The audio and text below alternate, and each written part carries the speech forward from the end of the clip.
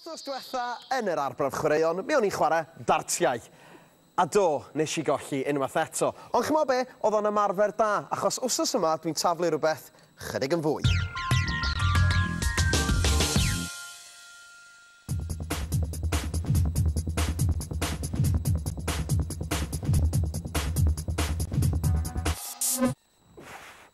Ydy, mae Marty yn dipyn o foi am daflu'r gweilffon.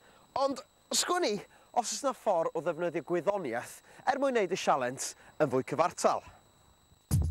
Mae canolbwynt mas javelin 4 cm ymlaen o ganol y javelin. Gan fod y canolbwynt mas mor agos i'r canol, mae'n golygu fod o'n sefydlog pan mae'n hedfan trwy'r awyr.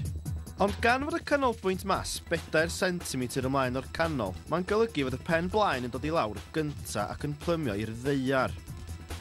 Pe bai'r mas yma'n bellach yn ôl, neu bellach ymlaen, ni fyddai'r javelin yn hedfan yn syth. Felly, Mati, ti'n taflu gweirffon yn reit bell? Yep. Ho, oh, reit. Ond e, sgwni sut hwyl gei di. Efo hon. A gyda llaw, na i gymryd hon.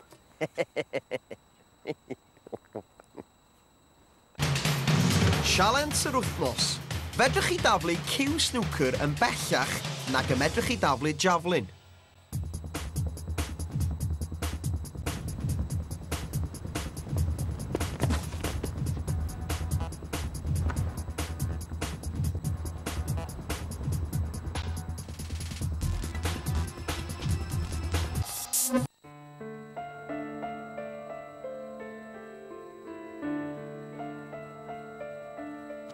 ハハハハ!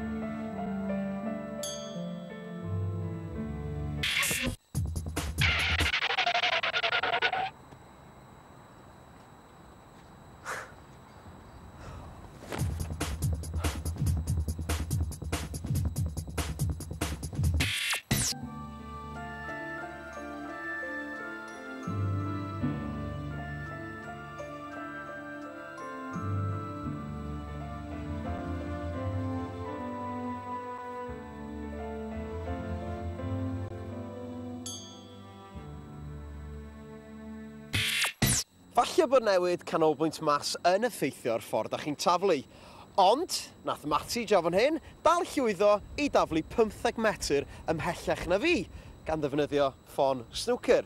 Felly medrwch, mi fedrwch chi ddefnyddio ffon snwcer fel gweo ffon. A ti Mati, gyd i gadw yna.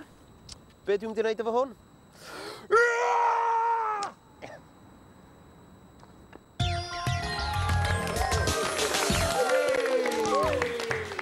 Pwy sy'n meddwl bod cyw snwcer yn mynd mor bell? Yn bersonol, Sara, o'n i'n meddwl bod y boi na di twyllio.